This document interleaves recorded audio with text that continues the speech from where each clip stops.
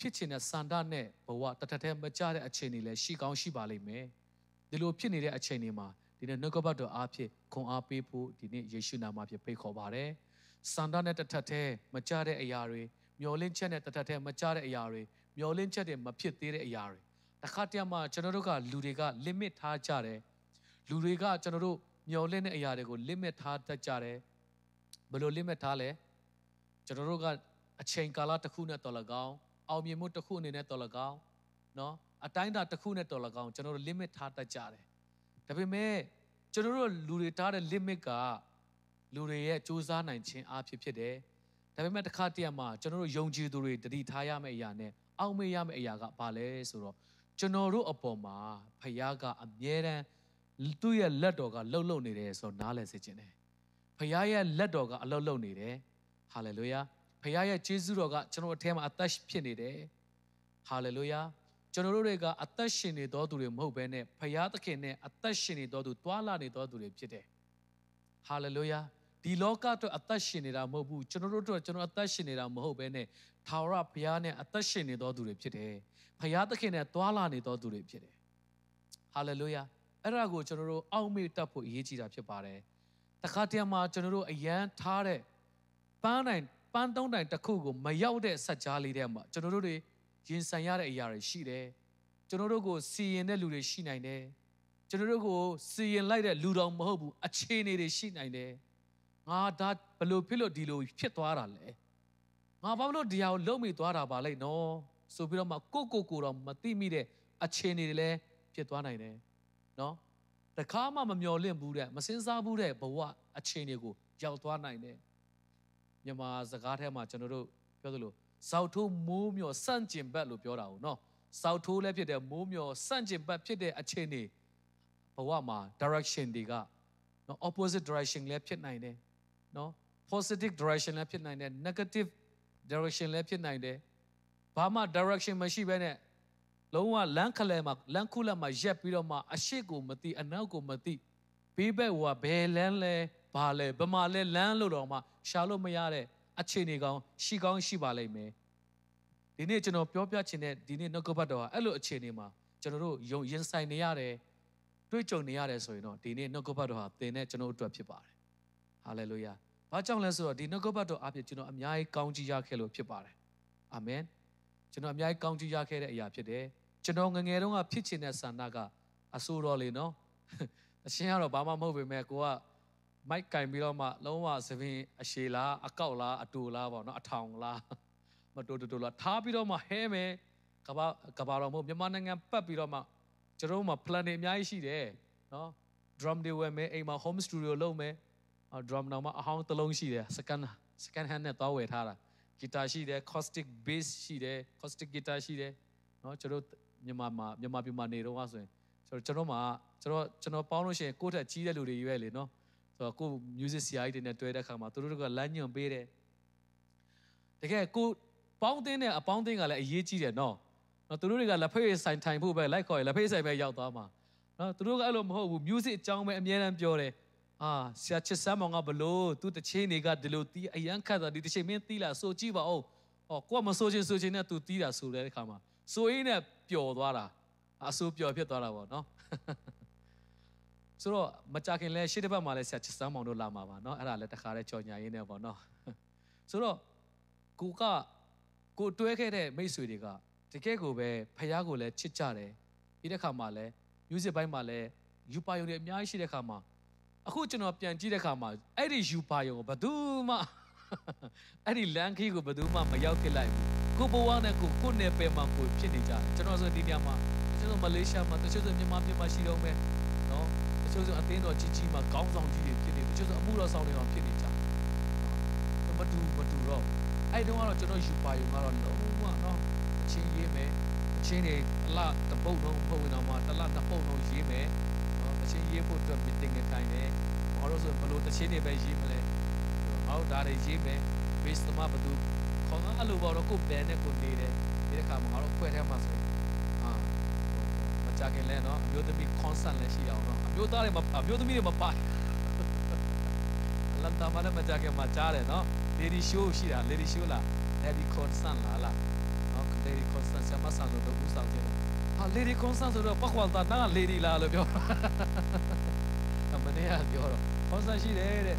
အမျိုးသမီးတွေဦးဆောင်ခြင်းနဲ့အာ concert လုပ်နေပေါ့နော်ကြားတယ်တဲ့အာသူသွားရမယ်ဆိုဟာမင်းကမင်းက lady လည်းမဟုတ်ပဲနဲ့ပရိသတ်ဆိုတော်တယ်ဘာလို့မှလဲ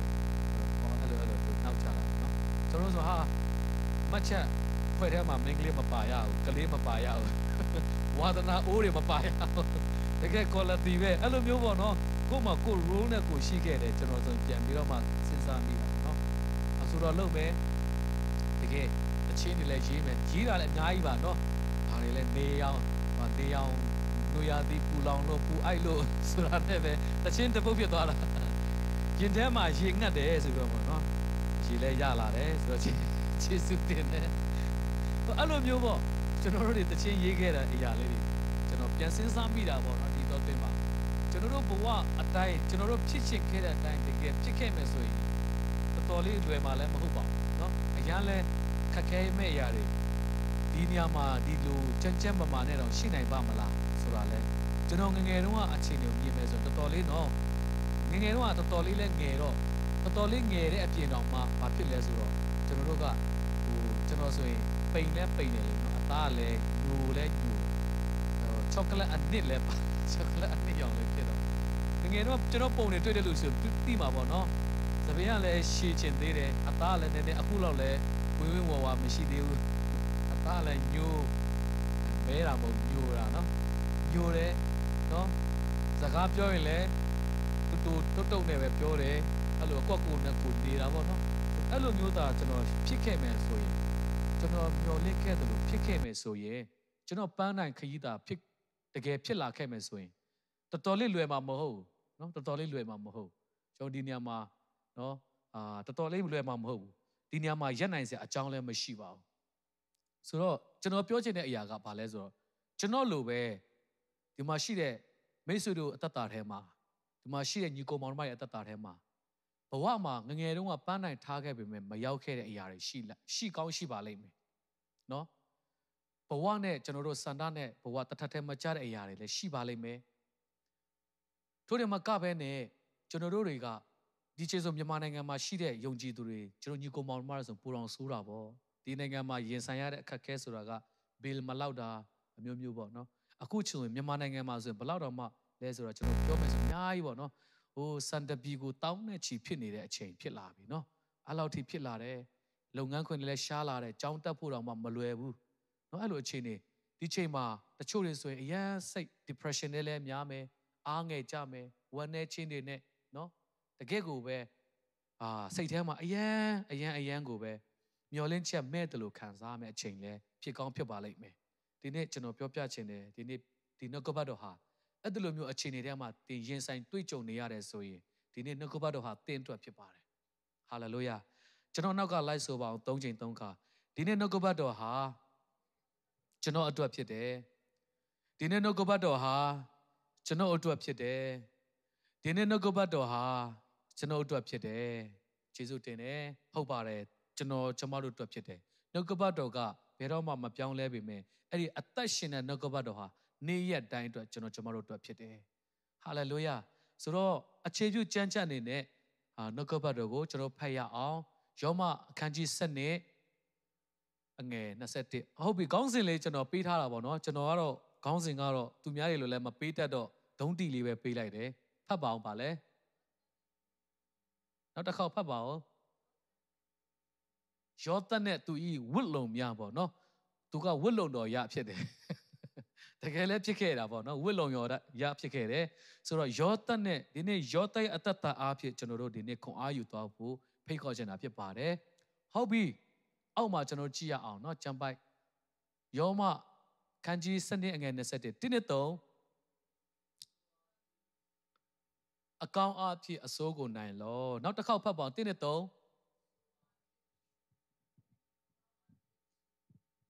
ဟုတ်ပြီ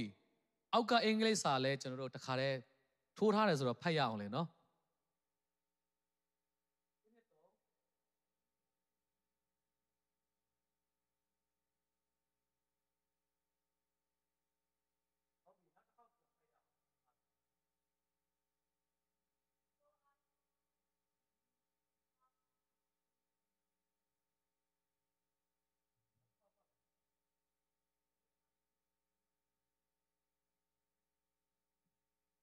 ဟုတ်ပြီ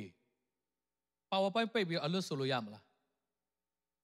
ဒီကျမ်းပိုက်တစ်ပိုက်ရရင်ဒီတနေ့တော့တကယ်ကောင်းကြီးပဲအာမင်ကျမ်းပိုက်တစ်ပိုက်ရပြီဆိုရင်ဒီကျမ်းပိုက်ကတကယ်ကိုကျွန်တော်တို့ဟာနော်နှုတ်ကပတ်တော်ကတကယ်ထူးခြားတာဖြစ်ပါတယ်နော်အရန်အရန်ကိုလင်းတဲ့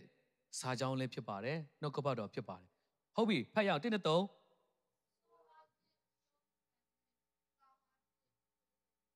နောက်တစ်ခေါက်ဖတ်ပါဦး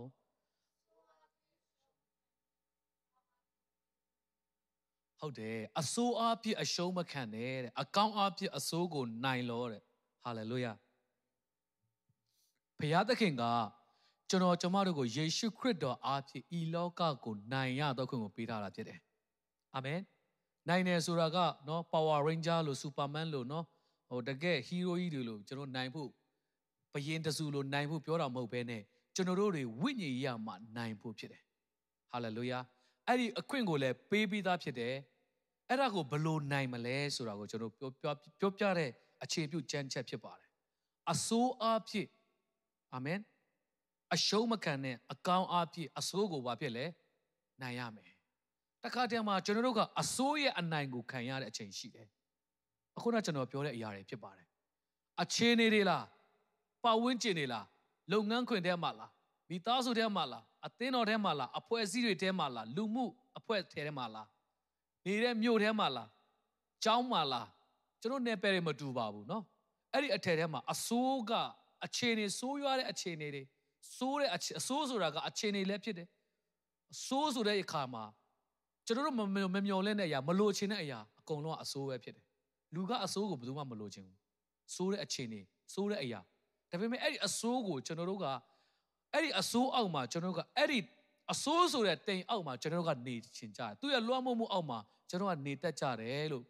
လောကအခြေအနေထဲမှာကျွန်တော်တို့ကိုနှုတ်ကပတ်တော်ကမိမောင်းထုတ်ပြတယ်အဲ့ဒီအဆိုးတိမ်အထက်မှာကျွန်တော်တို့ကိုအောင်ရသောအခွင့်ကိုပေးထားတာဖြစ်တယ်နိုင်ပါအဆိုးကိုဘာနဲ့နိုင်ရမလဲအကောင်းအားဖြင့်နိုင်ပါဟာလေလုယာအာမင်ဒီနေ့ကျွန်တော်မြင်နေရတဲ့အမြင်တွေထဲမှာအဆိုးမြင်ဝါဒတွေရှိတယ်ဆိုရင်ဒီနေ့ပြောင်းလိုက်ပါအကောင်းဟာလေလုယာကျွန်တော်ထင်နေတဲ့ဒါတွေကတော့စိုးနိုင်တယ် ဒါကမဖြစ်နိုင်ဘူးလို့ထင်နေတယ်ဆိုရင်လေဒီရကိုသင်နိုင်ခြင်းနဲ့ဆိုရင်အကောင်းမြင်လိုက်ပါအာမင်နိုင်ခြင်းနဲ့ဆိုရင်တော့မနိုင်ခြင်းဘူးဆိုရင်တော့မပြဿနာပါဘူးမကိစ္စပါဘူးเนาะချင်းမြန်မာစကားလုံးမကိစ္စဘူးကျွန်တော်တို့တွေကအစိုးကိုနိုင်ဖို့အတွက်ဘာဘာလို့ရမလဲဒီနေ့အစိုးကိုအကောင်းအားဖြင့်နိုင်ရမယ်ဘလို့ပဲအစိုးတွေလာနေပါစေအကောင်းနဲ့လက်ခံတတ်တော်သူတွေဖြစ်ဖို့အရေးကြီးတာဖြစ်ပါတယ်ဟာလေလုယာအခုတော့ကျွန်တော်ပြောသလိုပဲဘဝမှာ ဘာတွေကြုံနေရပါစေဘလို့အခြေအနေတွေကြုံနေရပါစေအဲ့ဒီအရာတွေကိုကြုံရတဲ့အရာတွေကိုကျွန်တော်တို့ကလေအစိုးကိုအစိုးလို့သွားပြီးတော့မှရင်ဆိုင်တဲ့အခါမှာကျွန်တော်အစိုးရဲ့လွှမ်းမိုးခြင်းကိုခံရတယ်လို့နှုတ်ကပတ်တော်ကပြောတာဖြစ်ပါတယ်။ဒါကြောင့်အစိုးတွေဘလို့ပဲလာပါစေအကောင်းတွေဘလို့ပဲလာနေပါစေမဆိုးမကောင်းလေးတွေလာနေပါစေ။နော်အခြေအနေမျိုးမျိုးတွေရင်ဆိုင်ရတဲ့အခါမှာကျွန်တော်တို့တွေကဘလို့ဘလို့မျိုးတုံ့ပြန်ပြီးဘလို့မျိုးစီးကြွရမလဲဆိုတော့အကောင်းအားဖြင့်စီးကြွရမှာဖြစ်တယ်။ ကောင်းဖို့အတွက်ဖြစ်လာတယ်။ဟာလေလုယာ။ကောင်းဖို့အတွက်ဖြစ်လာတယ်။ကောင်းဖို့အတွက်ဖြစ်လာတယ်။ဒါကိုကျွန်တော်တို့အာမြင်တတ်ဖို့အတွက်ဖြစ်ပါတယ်ဆိုတာကိုကျွန်တော်တို့အနေငယ်ခွန်အားပေးခြင်းနဲ့ဟုတ်ပြီယောသတ်နဲ့သူဤဝိလုံများနော်ဒီခေါင်းစဉ်လိုမျိုးတစ်ခါကြားဘူးတယ်လို့ဒါပေမဲ့ကျွန်တော်ရင်းနှီးတဲ့စာမို့လို့ရေးလိုက်တာပေါ့နော်ဟုတ်ကဲ့နံပါတ်1အောက်မှာကျွန်တော်ကြည့်အောင်ယောသတ်နဲ့သူပထမဝိလုံပထမဝိလုံရှိတယ် သူရတဲ့ပထမယောသတ်အတ္တထဲမှာသူကဝိလုံရခဲ့ဘူးတယ်အကောင်းတွေကိုသူရခဲ့တဲ့ဝိလုံကောင်းချင်းဆိုတဲ့မင်္ဂလာတွေကောင်းချင်းဆိုတဲ့ဝိလုံတွေကောင်းချင်းဆိုတဲ့မင်္ဂလာကောင်းချင်းအလုံးစုံမျက်နှာသားတွေသူ့ရှီရောက်လာခဲ့တယ်ပထမဝိလုံယောသနဲ့သူပထမဝိလုံနော်ကပောက်ချမ်းခန်းကြီး30ခုအငယ်3ကနေလေတင်းနဲ့3ဣသေလဆိုတာကဘာတူလဲဟဲဣသေ တညလုံးနှစ်ပန်းလုံးစမတ်တောင်းပြီးတော့မှရလာတယ်ကောင်းကြီးလေနော်နော်ဟိုဣသေလဆိုတဲ့နာမည်ကဖျားပေးတဲ့အရာဖြစ်တယ်ဣသေလနာမည်လူပုတ်ကိုဖြစ်တယ်နော်ဘာတူလဲအဲငတပြားနော်တခိုးငတပြားလူလိန်နေအေးသူနာမည်ကလူလိန်ဘာတူလဲဟဲယာကုပ်နော်ဟုတ်ပြီဖတ်ရအောင်တင်းတော့ဣသေလသည်အသက်ကြီးစဉ်အခါသားယောသက်ကိုရသောကြောင့် အခြားသောသားအပေါင်းတို့ကိုချစ်သည်ထက်ယောသက်ကိုတာ၍ချစ်၏အစင်းအယောင်ထူးခြားသောအင်ကြီးကိုချုပ်၍ပေး၏အဘသည်မိမိသားအပေါင်းတို့တွင်ယောသက်ကိုတာ၍ချစ်ချောင်းကိုညီအကိုတို့သည်သိမြင်သောအခါသူ့ကိုမုန်း၍မြစ်တာစကားကို သူ့အားမပြောနိုင်ကြနော်ပထမဝိယုံယောသက်လေးအတ္တတာက သူ့ရဲ့အခြေအနေဖျားသခင်ကရွေးနှုတ်တဲ့အရာ ဘာနဲ့တိတာလဲဆိုတော့အိမ်မက်တွေယူပါယုံတွေဖျားကပေးလိုက်တဲ့အခါမှာအဲ့ဒီအိမ်မက်ယူပါယုံတွေပေးတဲ့အခါမှာနော်နောက်ဆုံးမှာဘာဖြစ်လဲဆိုတော့ဟိုဟာဖြစ်လာတာပေါ့နော်ဟိုအကိုတွေရဲ့ညှို့ဆိုခြင်းခံရတယ်နောက်ဆုံးအတူချုပ်နဲ့ပြောမယ်ဆိုရင်အဖေရဲ့အဖေအင်ဂျီဆိုတာကလေထူးခြားသောအစင်းရောင်နဲ့ရှိအင်ဂျီအဲ့အင်ဂျီနဲ့ပတ်သက်ပြီးတော့လည်းအများကြီးနည်းနည်းမှုတွေရှိတယ်အဲ့ကာလတုန်းကအဲ့လိုမျိုးအင်ဂျီဆိုတာကအမွေခံသားတွေကိုပဲပေးတာဖြစ်တယ်အဖေကသား၁၂ယောက်ထဲမှာ ယောသတ်တို့မိသားစုထဲမှာယောသတ်နဲ့ညီကောင်မောင်တို့ဘယ်နှယောက်ရှိလဲသိလားအဲသိသွားပြီနော်73ယောက်နော်သားကြီးပဲ12ယောက်ဖြစ်တယ်သမီး1ယောက်ဒီနာဆိုတဲ့သမီး1ယောက်ပါတယ်နော်သူတို့ရဲ့ဟိုဓမ္မဟောင်းထဲမှာဆိုတော့မိန်းကလေးတွေကိုစရင်ထဲမှာသူတို့ညီကိုထဲမှာမရေတွက်တဲ့ခါမှာပေါ့နော်ဆိုတော့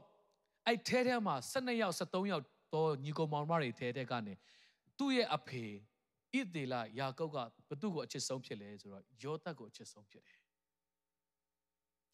သူတိတ်ချစ်ရတဲ့သူဇနီးထံကမွေးဖွားလာတဲ့သူ့ရဲ့သား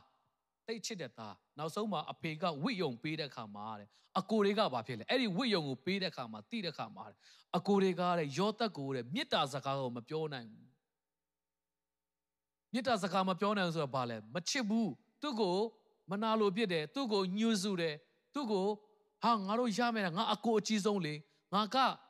အိမ်မှာအလုပ်အကောင်းဆုံးလုပ်တဲ့လူလေငါကဥဆောင်တဲ့လူလေ ငါကအဖေစကားကိုနားထောင်တာလေအမေစကားကိုနားထောင်တာလေဘာဖြစ်လို့ငါနဲ့မရတာလဲဆိုပြီးတော့မှအကိုတွေရဲ့နော်ညူဆူချင်းကိုရင်ဆိုင်ရတယ်အတူချုံနဲ့ပြောမယ်ဆိုအဲ့ဒီဝိယုံကိုရတဲ့အခါမှာမင်္ဂလာဆိုတဲ့ကောင်းကြီးမင်္ဂလာမျက်နှာตาဆိုတဲ့အရာရလာတဲ့အခါမှာတထထဲမှာပဲဘာပါလာလဲဆိုတော့ညူဆူချင်းတွေဆိုင်ပြိုင်တိုက်လန်ချင်းတွေပါလာတယ်ဘယ်ကနေလဲသူ့ရဲ့အနည်းဆုံးကနေပဲလာတာဖြစ်တယ်နောက်ဆုံးအတူချုံနဲ့ပြောမယ်ဆိုယောသက်ကလေးကို နော်သူ့ကိုယ်တွေကိုယောသက်ကသူ့ကိုယ်လိုထမင်းပုတ်ပုတ်ခုတ်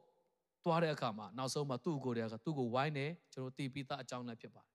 နော်သူ့ကိုခေါ်ပြီးတော့မှဒီကောင်ငါတို့တက်ရအောင်အိမ်မက်အိမ်မက်ယူပါရုံရှိတော့ကောင်ဒီကောင်တက်ရအောင်ဆိုပြီးတော့မှအတူချုံနဲ့ပြောသူ့ကိုယ်တွေကသူ့ကိုတတ်ဖို့အတွက်စဉ်းစားလာတယ်နောက်ဆုံးတတ်ဖို့အတွက်ဖြစ်လာတယ်တတ်မယ်ဒီကောင်ငါတို့ထဲမှာအိမ်မက်လိုလိုဘာလိုလိုနဲ့ဘဝင်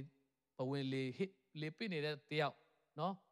ဆရာကြီးလိုလိုဘာလိုလိုနဲ့ငါတို့ကိုသူသူကပဲအုပ်ချုပ်မယ်တလေးပါတလေးနဲ့ဒီကောင်ငါတို့တတ်မယ်မင်းဘာတတ်နိုင်သေးလဲဆိုပြီးတော့မှအကိုတွေကသူ့ကိုတတ်ဖို့အတွက်ပြင်ဆင်တဲ့ခါမှာရောတက်လေးမှာတနာစရာပါအကိုတို့ရဲ့မလုပ်ပါနဲ့ငိုနေမှာပဲကြောက်နေမှာပဲเนาะအရင်အားငယ်နေမှာပဲငါအကိုတွေကိုယ်တိုင်ငါငါကိုတတ်တော့မှာပါဘာကြောင့်အဲ့လိုလုပ်ရတာလဲဘာလို့ငါအဲ့လိုမျိုးဖြစ်ဖြစ်ရတာလဲငါဘာကြောင့်အဲ့လိုစစ်စစ်စီရင်တာလဲသူ့မှာစဉ်းစားစရာတွေလည်းရှိမယ်အားငယ်တာတွေကြောက်တာတွေ နာကြီးတာတွေဝမ်းနေတာတွေစုံနေမှာပဲဘဝနောက်ဆုံးတော့ဘာဖြစ်လဲဆိုတော့ကဲကဲကဲကဲငါတို့တွေသူ့ကိုတော့မတက်ဘူးဒီရေတွင်းပြက်ရှိတယ်အဲ့ရေတွင်းပြက်ထဲမှာထည့်ရအောင်နော်နောက်ဆုံး तू တလိဆန်နေစားပြီးတယ်နောက်ဆုံးထမင်းစားအငတ်ပြီးတွင်းထဲမှာငါတို့တက်ဖို့လည်းမလိုဘူးသူ့ရဲ့သွေးငါတို့လက်မှာမစွန်းတော့ဘူးတော့သူအချိန်တန်တည်သွားမှာပဲအဖေကမေးလို့ရှိရင် तू ဝိယုံကိုယူရမယ်အဲ့ဒီထူးခြားတဲ့အဖေပေးတဲ့ဝိယုံကိုယူမယ်အဲ့ဒါကိုသူ့ရဲ့အသွေးကိုတုပ်ပြီးတော့မှအဖေရှိယူသွားလိုက်မယ် ပြောတယ်တကယ်ပဲတွင်းထဲမှာထားခဲ့တယ်နောက်ဆုံးမှာယူဒာကဟာငါတို့ဒီမှာထားလို့တော့မဖြစ်ပါဘူးဟိုမှာမိဒီယန်ကုံတယ်တွေရှိတယ်အီဂျစ်ကိုသွားနေပြီအီဂျစ်ပြည်ကိုသွားနေပြီသူတို့ရှင်မှာငါတို့ဒီကောင်ကိုတတ်မဲ့သူတွေဒီမှာထားမဲ့သူတို့ရောင်းလိုက်မယ်လေဆိုတော့မှငွေနဲ့ရောင်းလိုက်တယ်နောက်ဆုံးကျွန်နေနဲ့သူ့ရဲ့ညီအကိုသူ့ရဲ့အကိုတွေကသူ့ကိုကျွန်နေနဲ့ရောင်းစားလိုက်တယ်နောက်ဆုံးသူ့ရဲ့အင်ဂျီကိုယူပြီးတော့မှအဖေဒီမှာချိပါဦးအဖေရဲ့သားတော်ထဲမှာသားရဲတွေကြိုက်တက်လို့တေးပြီဒီမှာတွေးတွေနဲ့ ဟာသူ့အဖေကငိုချင်းချပြီးတော့မှဝမ်းနေပြီးတော့မှဣသေလကငိုတယ်တကယ်တမ်းတော့သူ့ကိုယ်လည်းညာလိုက်တာပေါ့နော်သူညီကတော့ဂျုံနေနဲ့ရောက်သွားပြီပထမဝတ်လုံးဖြစ်တယ်အာမင်ယောသက်ရင်ဆိုင်ရတဲ့ပထမဝိယုံကဝမ်းနေခြင်းလည်းပါတယ်ဝမ်းမြောက်ခြင်းလည်းပါတယ်ဆုံးရှုံးခြင်းလည်းပါတယ်လို့အမွေဆိုတဲ့အတိမတ်ပြုခြင်းလည်းပါတယ်မျက်နှာตาလည်းပါတယ်လို့ညင်ပန်းခြင်းလည်းပါတယ်ခွဲခြားပြီးတော့မှအကိုတွေရဲ့ နော်မျက်နှာตาတစ်ခုတိုးလာတဲ့အခါမှာ promotion တစ်ခုတိုးလာတဲ့အခါမှာသူ့မှာလည်းစုံစမ်းခြင်းဆိုတဲ့ promotion ရောက်လာတယ်သူ့မှာအလူလဲနော်အဲ့တုန်းကဆိုသူကဘယ်လောက်လဲ16 19လောက်ပဲရှိပေါ်တီဖာအတူချုပ်နဲ့ပြောမယ်ဆိုရင်ပေါ်တီဖာအိမ်ကိုရောက်သွားတယ်ပေါ်တီဖာအိမ်ကိုရောက်တော့ကယောသက်က16 19လောက်ပဲရှိအောင်ပဲတဲ့နော်လူငယ်သူတို့အဲ့တုန်းကတော့တန်တန်မာမာပေါ့နော်ယောသက်လေးကအစင်းလာတယ်သူကချစ်နှစ်လို့ဖွဲ့ကောင်းတယ်ပေါ့နော်ယောသက်ကအတ္တ ဆိုတော့ဒီလိုနဲ့သူကယောသက်လေးဟာ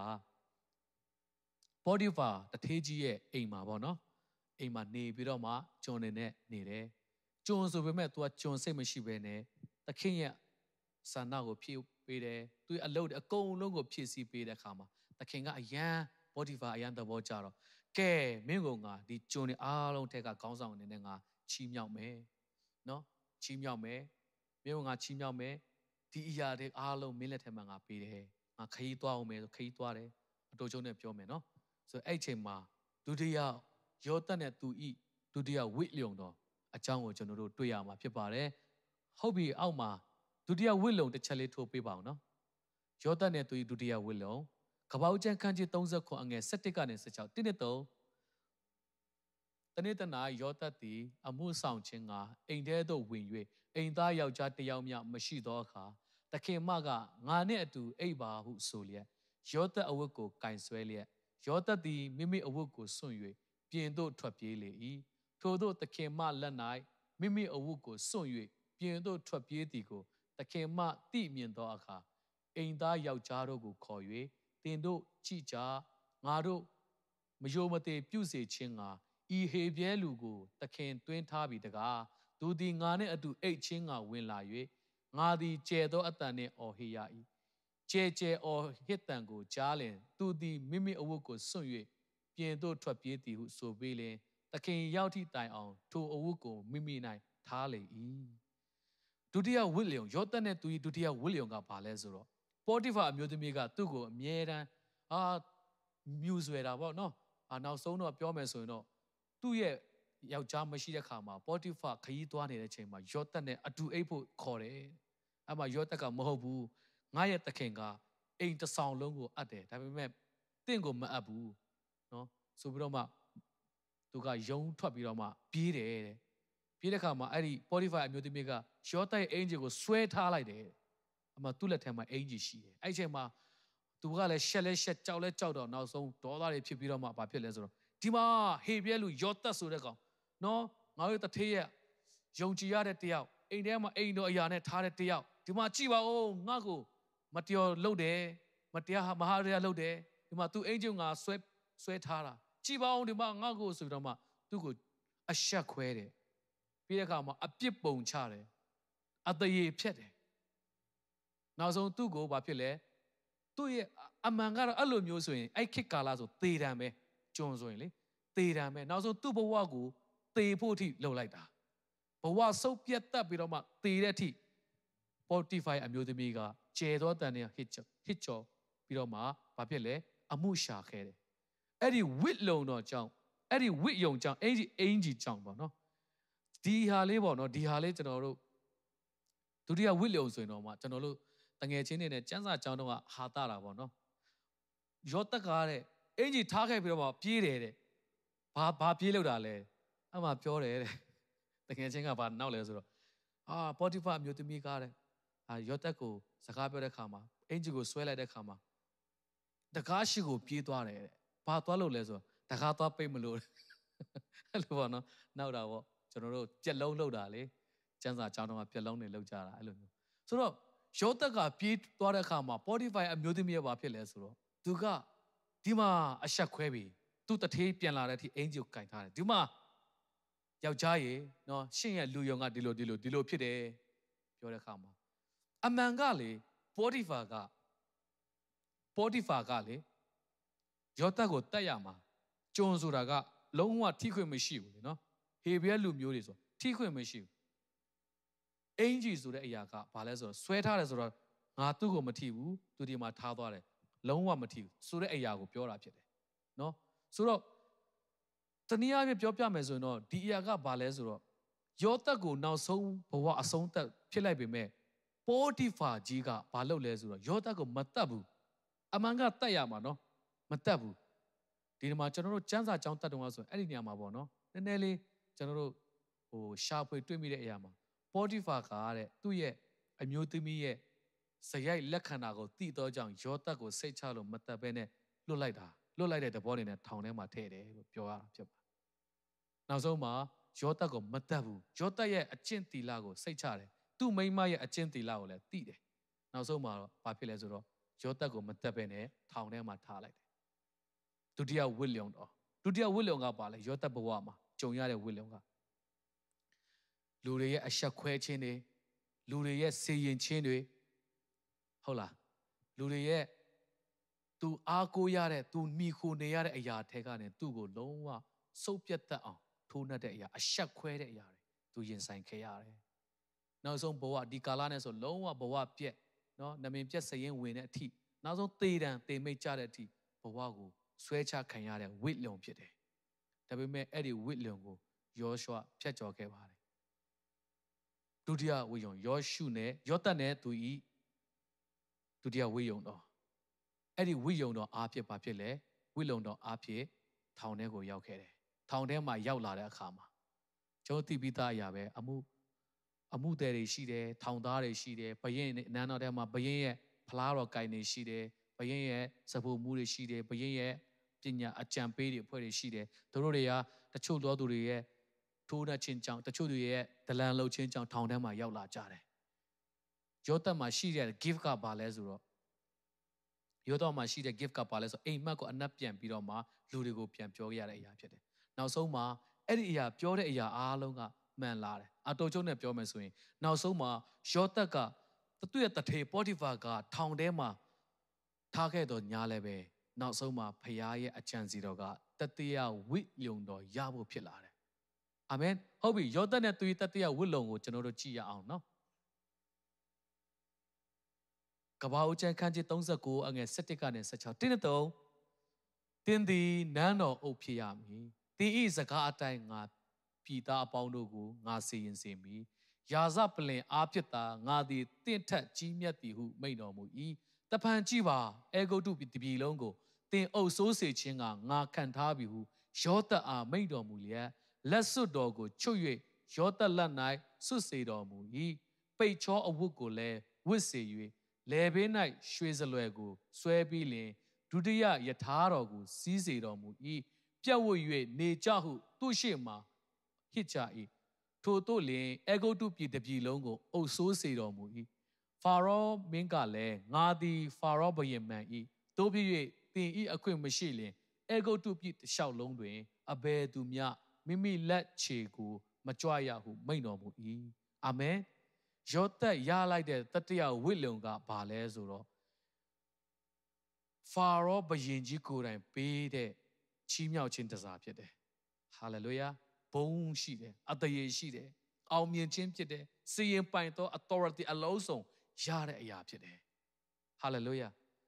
ထောင်ထဲကနေဘယ်အရာကနေသူ့ကိုလွတ်မြောက်စေအခုနပြောအိမ်မက်လို့ပဲနောက်ဆုံးမှာဖာရောကတရက်မှာအိမ်မက်မှတ်တယ်တဲ့ဖာရောကဘာအိမ်မက်မှတ်လဲဆိုတော့ သူ့အိမ်မက်ထဲမှာတဲ့အဲ့ဒီမြစ်ထဲကနေတဲ့စူဖြိုးတဲ့နွားခေါင်းကောင်ထွက်လာပြီးတော့မှမြက်တွေကိုစားတယ်တဲ့စားနေနေနောက်မကြဘူးတဲ့အဲ့ထဲကနေပဲပိန်ကျုံနေတဲ့နွားခုနှစ်ကောင်ထွက်လာပြီးတော့အဲ့ဒီနွားစူဖြိုးတဲ့နွားခုနှစ်ကောင်မြိုလိုက်တယ်တဲ့ဒါပေမဲ့မြိုလိုက်ပေမဲ့အဲ့ဒီပိန်ကျုံတဲ့နွားတွေကဝမလာဘူးပိန်နေနေပိန်နေတဲ့ထိုနည်း၎င်းပဲတဲ့ဟိုစပားတွေပေါ့နော်စပနာခုန ခုနခုနမြောင်းကရှိတယ်တဲ့အဲ့ခုနမြောင်းစူဖြိုးတဲ့လက်ဆက်တဲ့စပန်မြောင်းကိုတဲ့ပိန်ချုံပြီးတော့မှပေါ့နော်ဟိုနာနေတဲ့စပစပနန်ကမြိုလိုက်တယ်တဲ့အဲ့မှာလည်းဘာမှမထူးခြားဘူးအဲ့ဒါငါမြင်မှတ်တဲ့ခါမှာတဲ့အဲ့ဒီအိမ်မက်ကိုမြင်တဲ့အခါမှာငါအရန်ကြောက်တယ်သူပညာရှိတွေကလည်းမေးတော့မပြန်နိုင်ကြဘူးနောက်ဆုံးမှာယောသက်ကဘာပြောလဲဆိုတော့ရှင်ဘရင်ကြီးရှင်ဘရင်ကြီးရဲ့အိမ်မက်ကိုကျွန်တော်ပြန်နိုင်ပါတယ်ကျွန်တော်အားပြုတော့မဟုတ်ဘူးတဲ့အပေါ်မှာစံစာရှိသေးတယ်နော် ကျွန်တော်အားပြုတော့မဟုတ်ဘူးကျွန်တော်ရဲ့ဖခင်တခင်တတ်နိုင်ပါတယ်ဟာလေလုယာကျွန်တော်ရဲ့ကိုးကွယ်တဲ့ဖခင်တတ်နိုင်ပါတယ်ယုံကြည်လားယုံကြည်တယ်ဟုတ်ပြီရှင်ဘရင်ကြီးရှင်ဘရင်ကြီးရဲ့အိမ်မက်ကဘယ်လိုလဲဆိုတော့ဒီပြည်မှာတခါမှမဖြစ်ဘူးနောင်လည်းမဖြစ်တော့မဲ့အစာခေါင်းပါခြင်းဟာဖြစ်လာလိမ့်မယ်ပထမစူပြိုးတဲ့နွားခုနှစ်ကောင်ဆိုတာကကျွယ်ဝခြင်းဖူလုံခြင်းအောင်မြင်ခြင်းစီးပွားထိုးထိုးတတ်တတ်တတ်သွားမယ်ပေါ့နော်တက်သွားလိုက်မယ်တဲ့ခုနှစ်နှစ် အဲ့ဒါပြီးတာနဲ့အဲ့ဒီစီးပွားတက်သွားတဲ့စူပြိုးတဲ့လေတွေဖြစ်တဲ့စီးပွားအောင်မြင်နေတဲ့အရာတွေမေးရလောက်အောင်နဲ့ခေါင်းပါခြင်းခုနှစ်နှစ်ရောက်လာလိမ့်မယ်စပားဆိုတာလည်းအဲ့လိုပါပဲစပားဆိုတာကလည်းလေလေယာစပားကိုဆူလိုတာဖြစ်ပါတယ်ဒါကြောင့်မလို့တဲ့စူပြိုးခြင်းကြွယ်ဝဖူလုံပေါ်များခြင်းခုနှစ်နှစ်ပြီးတာနဲ့ခေါင်းပါခြင်းခုနှစ်နှစ်အဲ့ဒီပေါ်များခြင်းဖူလုံပေါ်များခြင်းတွေကြွယ်ဝခြင်းတွေကိုမေးရလောက်တဲ့အထိခေါင်းပါခြင်းရောက်လာလိမ့်မယ်တကဘာလုံးမှာဖြစ်မယ် ပြောတဲ့အခါမှာဝါအားလုံးကဟုတ်တယ်ဖာရောကဘာပြောသလားဟုတ်တယ်တဲ့ဖယားသခင်ရဲ့ဝိညာဉ်တော်မှာတပါဒီအမှုကိုမတတ်နိုင်ဘူးယောသက်ကဖယားရဲ့ဝိညာဉ်တော်ရှိတယ်ဟာလေလုယာဖာရောသိတယ်နော်အာမင်ဖာရောကကဲဒီမှာခုနကျမ်းစာရောက်လာပြီကဲဒီမှာလက်စွပ်ယူလိုက်တော့နော်ဝိယုံအာမင်ယောသနဲ့သူဤတတရဝိယုံဒီနေ့ဘယင်တွေဝစ်တဲ့အဝိယုံကိုခြုံပေးလိုက်တယ် နောက်ဆုံးမှာမြင်းရထားတယ်ပေးတယ်ငါကတော့ယာစပလင်ပေါ်မှာပဲထိုင်လို့မင်းအထက်မှာပဲရှိမယ်ငါရဲ့ဖြစ်ချင်းအကုန်လုံးမင်းကိုပေးတယ် authority အလုံးစုံငါပေးတယ်လောက်ပါယောသက်ယောသက်လေးကတက်ခုစုကိုစွတ်တယ်ဝိယုံကိုဝစ်ပြီးတော့မှသူစီမံကန့်ကွက်တယ်ပေါ်ဖူလုံးပေါ်များခြင်းခုနှစ်နှစ်အဲ့ချိန်မှာဆန်ဘာလို့ရမလဲယောသက်ကလည်းပြန်ပြောတယ်အောက်မှာဆိုရင်ဟုတ်တယ်အဲ့ဒီခုနှစ်နှစ်သူကပေါ်များနေတဲ့ဖူလုံးပေါ်များနေတဲ့ကျွယ်ဝနေတဲ့ခုနှစ်နှစ်မှာ စံစပါစပါကြီးအကြီးလုံးမယ်အဲ့မှာစုစုသိမ့်မယ်နော်စုဆောင်းမယ်အဲ့ဒီခုနှစ်နှစ်ခေါင်းပါမဲ့ခုနှစ်နှစ်စာအတွက်ကျွန်တော်တို့ပြင်ဆင်ရမယ်အာမင်ပြင်ဆင်ဖို့အတွက်ယောသက်ကပြောတယ်ကဲယောသက်မင်းဥဆောင်တော့ယောသက်ကဥဆောင်တယ်နော်အကုန်လုံးစုသိမ့်တယ်သူပြောတဲ့အတိုင်းပဲအတူချိုးနဲ့ပြောမယ်ဆိုရင်ခုနှစ်နှစ်ကျွဲဝပြီးတဲ့အခါမှာနောက်ထပ်ခေါင်းပါခြင်းခုနှစ်နှစ်ကဘာပေါ်မှာဖြစ်လာတဲ့အခါမှာတကယ်ဖြစ်ခဲ့တာကဘာပေါ်မှာ တကကဘာပေါ်မှာအဲ့ဒီခေါင်းပါခြင်း scientist တွေရှာတဲ့အခါမှာတကယ်ဖြစ်ခဲ့တယ်ဆိုတဲ့အရာကိုမြင်တွေ့ရတာဖြစ်တယ်ဖြစ်လာတဲ့အခါမှာတကဘာလုံးကလူတွေကစာရင်စဘာမရှိမိုးခေါင်လာတယ်ဘာမှခေါင်းပါခြင်းတကဘာလုံးနဲ့ရှင်ပြီးဖြစ်လာတဲ့အခါမှာနောက်ဆုံးဘာသွားလို့ရလဲဆိုတော့အီဂျစ်ပြည်မှာစာစဘာရှိတယ်ဆိုတော့ကြားတဲ့အခါမှာအဲ့ဒီမှာနော်ရွှေတပိတ်တာနဲ့စံတပိတ်တာအမှုပါစံတပြည်လဲရတဲ့အထိနော်တိုးသားတပိတ်တာနဲ့ရွှေတပိတ်တာလဲရတဲ့အထိနောက်ဆုံးလဲဖို့တော့မရှိတော့ဘူး သွားပြီးတော့မှဒူးထောက်ပြီးတော့မှအညံ့ခံပြီးတော့မှအတနာခံရတဲ့အထိဖြစ်လာတယ်နောက်ဆုံးမှအဲ့ဒီထဲမှာဘသူတွေပါလဲဆိုတော့ယောသတ်နဲ့သွေးညီအကိုများတွေပါလာတယ်ကဲယောမင်းတို့ဘာလို့မလဲငါတို့တေတော့မလားဒီလိုပဲနေပြီးတေတော့မလားတွားဟိုမှာအီဂျစ်ပြည်မှာစံစပါးရှိတယ်လို့ကြားတယ်ငါတို့မှာရှိတာလေးနဲ့တွားလဲပါ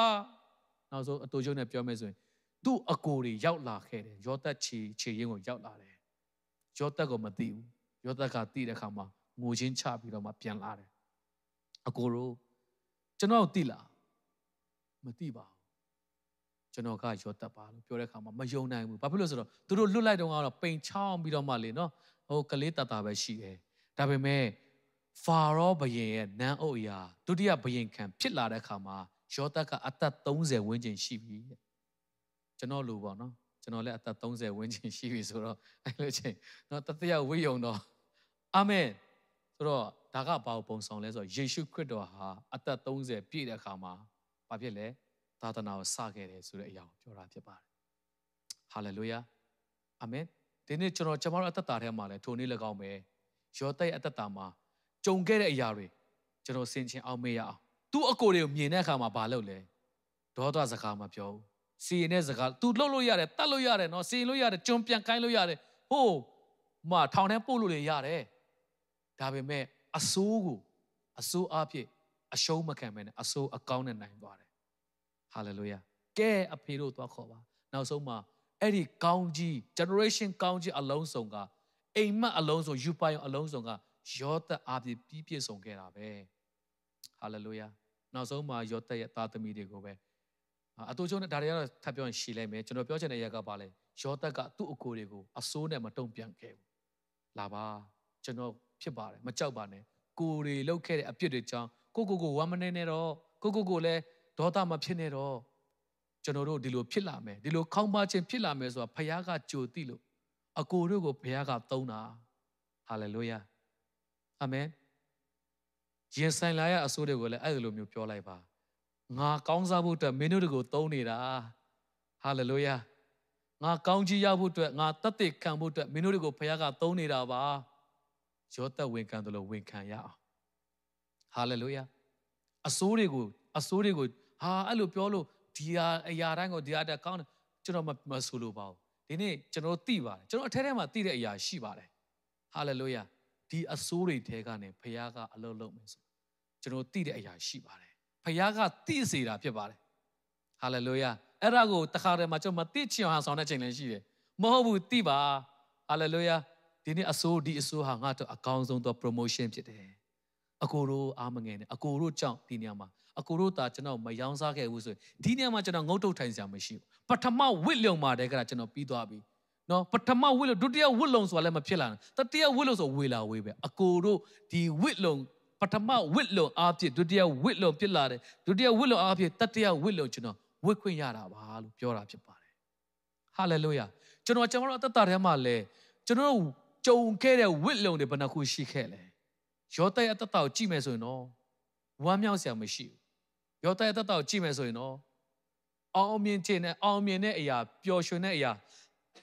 မရှိသလောက်ပဲမိသားစုနဲ့ဝေးရတယ်သူများမှာကြုံလို့ရတယ်သူများတွေရဲ့အထောင်းခံရနောက်ဆုံးမှာဒုတိယဝိလုံမှာသူ့ကိုပထမဝိလုံမှာတတိယဝိလုံသူဝစ်နေတဲ့အချိန်မှာပထမဝိလုံမှာသူ့ကိုရောင်းစားခဲ့တဲ့အကိုတွေကသူ့ခြေဘဝကိုရောက်နေပြီသူ့အရှိမှာ ဥညွတ်နေပြီသူတတ်သေးဆိုသေးရှင်းဆိုရှင်းအချိန်ရောက်တယ်ဒါပေမဲ့အဆိုးကိုကြုံခဲ့တဲ့အဆိုးတွေအတိတ်တွေကိုအကောင်းနဲ့ပဲပြန်ပြီးတော့မှနိုင်ခဲ့တဲ့ယောသဖြစ်တယ်ဟာလေလုယာကျမ်းစာထဲမှာတိတ်တွေးဖြစ်တဲ့အရာတစ်ခုရှိတယ်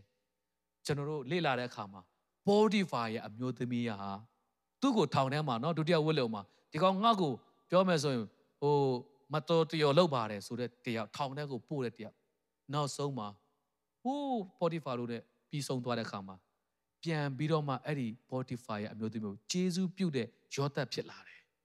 သူ့ရဲ့ယံသူ့ကိုညှင်းဆဲတဲ့လူကိုပြန်ပြီးတော့မှကူညီတယ်စောင့်ရှောက်တယ်ပြန်စောင့်ရှောက်ခဲ့တယ်လို့သိရတာဖြစ်ပါတယ်အာမင်ဆိုတော့နောက်ဆုံးမှာတတိယဝစ်လုံနဲ့သူရှိနေတဲ့အချိန်မှာအရာအလုံးကိုသူစီရင်လို့ရပါတယ်အဲ့ဒီအမျိုးသမီးကိုလည်းသွားပြီးစီရင်လို့ရပါတယ်မလုပ်ပါဘူးမင်းငါ့ကိုလှုပ်တယ်မှတ်မိသေးလားနော် မြန်မာကားလိုပေါ့နော်ခမားတို့တွေခမားတို့တွေကြုတ်တို့တွေဆိုတော့နော်မြန်မာကားတွေကြည့်ဟိုစိတ်ဆင်းရဲအရာတွေလည်းအများကြီးအပြင်မှာလည်းတကယ်မဟုတ်ပဲနဲ့လေနော်ဆိုတော့အဲ့လိုမျိုးသူစီရင်လို့ရပါတယ်ဒါပေမဲ့အဲ့လိုမလုပ်ခဲ့ဘူးပြန်ပြီးစောင့်ရှောက်ခဲ့တယ် Spotify မျိုးသမီးကိုသိရတာပေါ့နော်ပြန်ပြီးစောင့်ရှောက်တယ်ဂျေဇုပြုတ်တယ်ရန်သူကိုတော့မှပြန်ပြီးတော့မှသူ့ကိုအဆက်ခွဲတယ်လို့သေဖို့ဒီ ကြောက်တွန်းခဲ့တဲ့လူတော်မှသူကဘာလုပ်လဲတတိယဝိလုံရောက်တဲ့အခါမှာအဲ့ဒီအဆိုးတွေအားလုံးကိုအကောင်းနဲ့ပဲပြန်ပြီးတော့အနိုင်ယူသွားတယ်ဟာလေလုယာဒါကြောင့်မလို့ယောသက်ကျမ်းစာထဲမှာလုံးဝအမားတစ်ခုမှမလုပ်တဲ့ပုံကိုနှစ်ယောက်ပဲရှိတယ်နံပါတ်1ယောသက်အာမင်ချီမချော်ခဲ့ဘူးထာဝရဘုရားနဲ့ဖြောက်မှတ်ခဲ့တယ်ရောက်တဲ့နေရာတိုင်းမှာအကောင်းဆုံးအဆိုးကိုအဆိုးလို့မရင်ဆိုင်မဲနဲ့အကောင်းနဲ့ရင်ဆိုင်ခဲ့တယ် ငါကြုံမှာဆိုတဲ့စိတ်နဲ့မဟုတ်ဘဲနဲ့ငါဟာတစ်ချိန်မှာဘာနာအုပ်ဖြစ်မယ်ငါတစ်ချိန်မှာဟာအဲ့လိုမျိုးယူပါယုံနေရှိမလားတော့မသိပေမဲ့ तू သူ့ရဲ့အတ္တတာကို तू အစိုးလို့မမြင်ဘူး तू ရင်ဆိုင်နေရတဲ့လုပ်ငန်းခွင်တွေ तू ရင်ဆိုင်နေရတဲ့အခြေအနေတွေတော်တော်လေးစိုးခဲ့ပါတယ်ဒဏ်ရာတွေလည်းတော်တော်များခဲ့မှာပါနော်လူတွေရဲ့ညှင်းဆဲခြင်းတွေလည်းအများကြီးခံစားရမှာပါဒါပေမဲ့15နှစ်တာဝင်းကျင်ကာလလေးမှာ तू ကြုံရတဲ့အဆိုးတွေအများကြီးရှိတယ်အသက်30ဝင်းကျင်ရောက်လာတဲ့အခါမှာ तू ဟာနန်းအုပ်အရာမှာရလာခဲ့တယ် ဘရင်ရဲ့ဒုတိယဘရင်ခံအခုဆိုတော့ president ပေါ့နော်ဒီနိုင်ငံမှာဘရင်မရှိဘူးဆိုတော့ president ပေါ့နော် president အရာရလာတယ်သူစီရင်ပိုင်ခွင့်ရှိလာတယ်သူထိုင်ဆိုထိုင်သူထားဆိုထားပဲဖြစ်လာခဲ့တဲ့အရာအရာအလုံးစုံသူ့ရဲ့အတိတ်တွေကိုပြန်ကြည့်ပြီးတော့မှရင်ဆိုင်ရတဲ့အတွေ့ရတဲ့အလုံးစုံကိုဘာဖြစ်လဲအဆိုးကိုအဆိုးနဲ့မရင်ဆိုင်ဘူးအဆိုးနဲ့မနိုင်ဘူးအဆိုးကိုအကောင်းနဲ့နိုင်တဲ့ယောသဖြစ်ပါတယ်ဟာလေလုယာအာမင် ဒီနေ့ယောသက်အသက်တာအပြည့်ကျွန်တော်ကျွန်မအသက်တာထဲမှာယောသက်နဲ့သူ့ဝတ်လုံ၃ခုကိုမှတ်မိတယ်ဆိုရင်ရပြီအာမင်ပထမဝတ်လုံကဘသူတွေလဲဘသူပေးတဲ့ဝတ်လုံလဲဟဲသူ့အဖေပေးတဲ့ဝတ်လုံရန်သူတွေကသူ့ညီကိုတွေဖြစ်လာတယ်ဒုတိယဝတ်လုံကဘသူလဲအဲပေါ်တီဖာရဲ့အမျိုးသမီးကပေးလိုက်တဲ့ဝတ်လုံအဲ့ဒီဝတ်လုံကြောင့်ဘာဖြစ်လဲထောင်ထဲကိုရောက်သွားတယ် ထောင်ထဲမှာရောက်လာတဲ့ခါမှာလေ तू ရှိနေတဲ့နေရာမှာအစိုးတို့ဟာတညလုံးစဉ်းစားပြီးတော့မှနဖူးပေါ်လက်တင်စဉ်းစားလိုက်တာငါလေရင်မောတယ်ကြေကွဲတယ်ဆိုမဟုတ်ဘူးနော်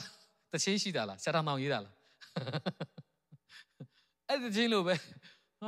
အညာလုံးသူကနာကျင်စရာတွေနဲ့အော်သူ့မှာနှလုံးဒဏ်ရာတွေနဲ့ဘလပြစ်နဲ့ရှိနေမယ်ဆိုရင်သူ့ကိုသူ့နောက်မှာရှိအမှုတဲ့တွေ तू ကဘလို့လို့အိမ်မက်တွေပြန်မလဲတတ်တတ်ကြွကြွနော် အိမ်မက်အနက်ပြန်နေဆိုမလွယ်ဘူးလေနော်စဉ်းစားပေးရတယ်ကောက်ချကြပဲသူပြောတာနားထောင်ပေးရတယ်ဟာငါဒီမှာဒုက္ခရောက်တယ်ငါကြေကွဲနေငါဒေါသဖြစ်နေတာငါ့ကိုလာပြီးတော့ခွာလာလာမေးနေတယ်မပြောပါဘူးသူရောက်တဲ့နေရာတိုင်းမှာအကောင်းဆုံးသူနေထိုင်တယ်ထောင်ထဲမှာဆိုလဲအကောင်းဆုံးသူ့အနေနာလူတွေအတွက်အကောင်းအဆိုးကိုလည်းအကောင်းဖြစ်သူအကောင်းဆုံးလုပ်တယ်အဲ့ဒီအရာအဖြစ်သူ promotion ဖြစ်သွားတာပဲ hallelujah amen အဆိုးကိုအဆိုးအဖြစ်အရှုံးမခံမနဲ့အဆိုးကိုအကောင်းနဲ့ကျွန်တော်အနိုင်ယူတတ်တဲ့ယောသရဲ့အတ္တတာကျွန်တော်ကြည့်တဲ့အခါမှာအင်မတန်မှတကယ်ကိုပဲကောင်းကြီးဖြစ်မယ်လို့အထူးပဲယုံကြည်တာဖြစ်ပါတယ်နောက်ဆုံးမှာအဲ့ဒီ chance အဲ့ဒီအရာအပဲတတရဝိလုံဖြစ်တဲ့ဘယင်ကြီးရဲ့ဝိလုံကိုရခဲ့တာဖြစ်တယ်ဟာလေလုယာဖာရောရဲ့ဝိယုံကိုရခဲ့တာဖြစ်တယ်အာမင်ဖာရောကိုအုပ်ချုပ်တဲ့ဟေဘရဲလူဆိုသူပဲရှိတယ်နော်နော် တော်တော်လေးကိုထူခြားတယ်ဘယင်ကြီးကိုယ်တိုင်မျက်နှာသာရတယ်ဒါတွေပြောမယ်ဆိုအများကြီးရှိမယ်တော့ကျွန်တော်ပြောချင်တဲ့အချုပ်အနေနဲ့တော့ဒီနေ့တတိယဝိယုံဖြစ်တယ်ပထမဝိယုံကဘသူပေးတာလဲအဖေကနေပေးတယ်အဲ့ဒီဝိယုံကြောင့်ပဲတေချင်းဆိုတဲ့တွင်းထဲကိုရောက်ခဲ့တယ်ဒါပေမဲ့အဲ့ဒီတေချင်းတွေကလွတ်မြောက်ပြီးတော့မှကြုံဖြစ်တယ်ဒုတိယဝိလျုံဖာရောကသူ့ကိုထောင်ချောက်ဆင်ပြီးလှုပ်တဲ့အရာဖြစ်သွားတယ်နောက်ဆုံးသူတေဖို့ဖြစ်လာတယ်အခြေအနေကတေဖို့ပဲဒါပေမဲ့တေဖို့မဖြစ်လာဘဲနဲ့ ထောင်ထဲရောက်လာတယ်ဘဝဆုံးမယ်ထောင်ထဲမှာတေမယ်ပေါ့ကွယ်ဒါပေမဲ့အဲ့ဒီအရာထဲကမှပဲ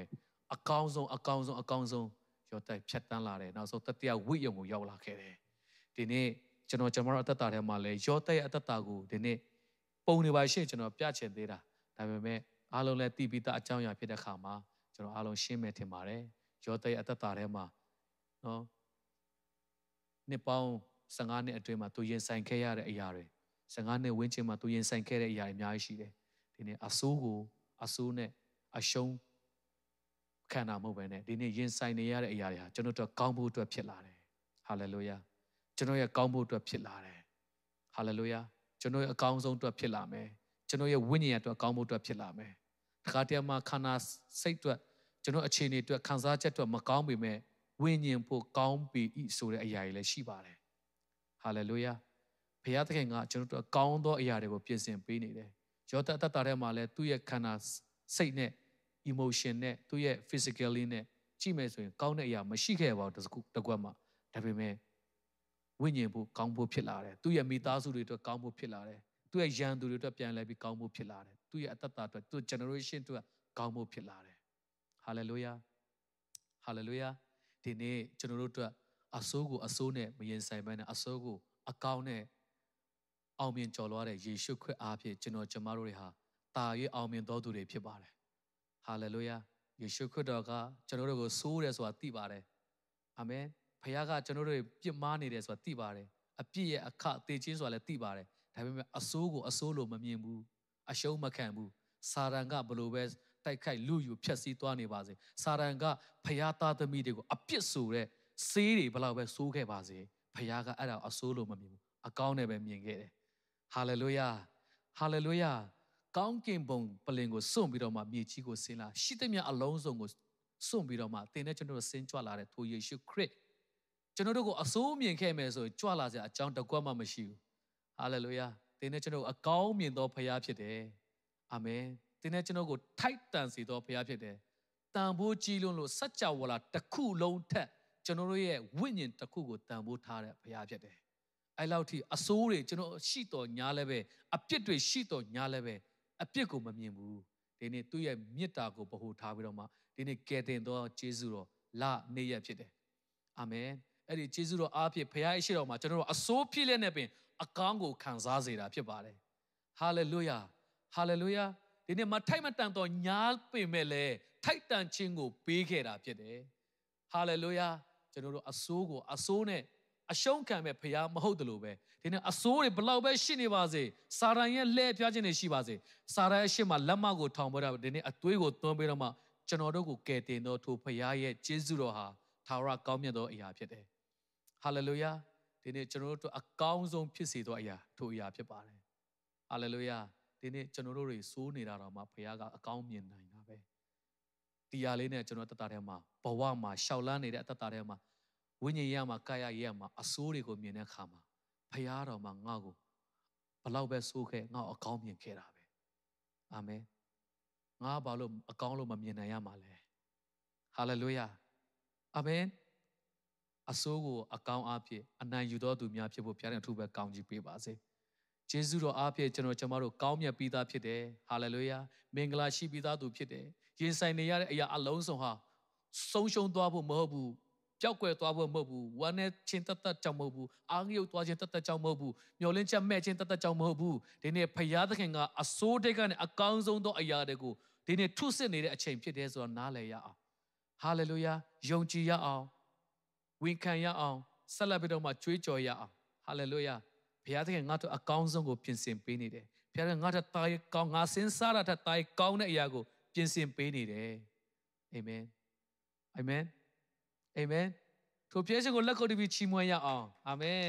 ဟောဒီဟာလေးနဲ့ဝိမြတ်တသက်ခံချင်ပါတယ်အခုနကျမ်းပိုက်လေးပြန်ဖတ်ရအောင်ယောမဩဝါဒစာခန်းကြီး7အငယ်21